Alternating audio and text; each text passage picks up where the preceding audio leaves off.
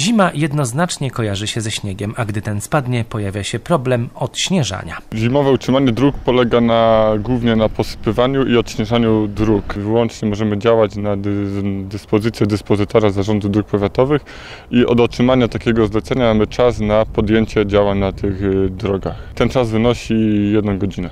Również właściciele posesji muszą zadbać o ich odśnieżanie. Okres zimowy jest y, ciężkim okresem i y, szczególnie właściciele posesji powinni się do niego przygotować, ponieważ ciążą na nich obowiązki. Obowiązki te zawarte są w ustawie o utrzymaniu porządku i czystości w gminie i mówi on o tym, że należy usuwać y, śnieg, lód oraz błoto z chodników które znajdują się wzdłuż posesji. Odśnieżone drogi i chodniki to podstawa bezpieczeństwa. Dbajmy o to.